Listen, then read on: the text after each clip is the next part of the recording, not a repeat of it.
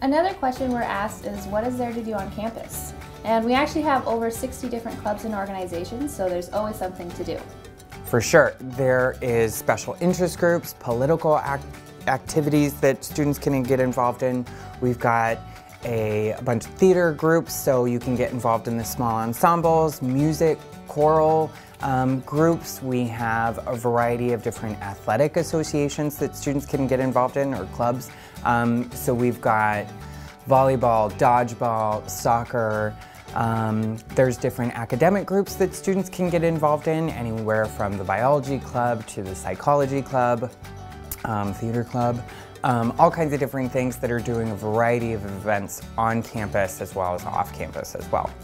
And beyond all of the clubs and organizations, there's a lot of just fun activities to do on campus too. We have movies, to comedians, to hypnotists, you name it. We have an activity for you.